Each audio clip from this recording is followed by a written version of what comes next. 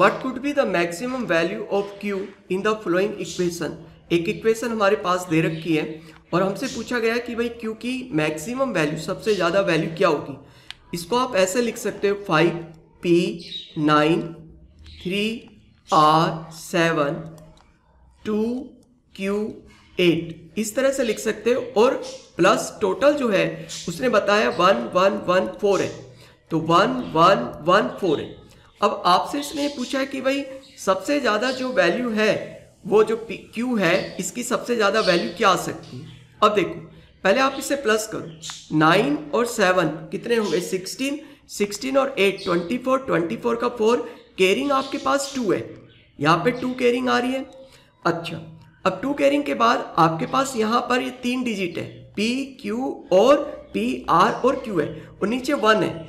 आप वन जानते हो कि वन कब आया होगा? इलेवन का वन केरिंग वन, इस तरह से आया होगा। तो यहाँ पे वन यानी कि इलेवन आना है। तो P plus R plus Q वो बराबर होना चाहिए आपके पास कितना? इलेवन। और आपके पास टू की केरिंग भी उसमें चढ़ी हुई है। ये अब आपने सोचना है, ठीक है?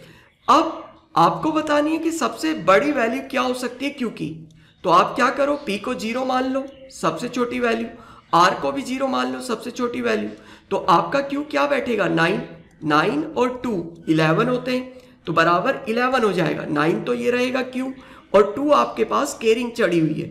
जो केरिंग है, वो टू है. तो पी को आपने ज़ीरो ले लिया अपनी तरफ़ से, ताकि मिनिमम रहे.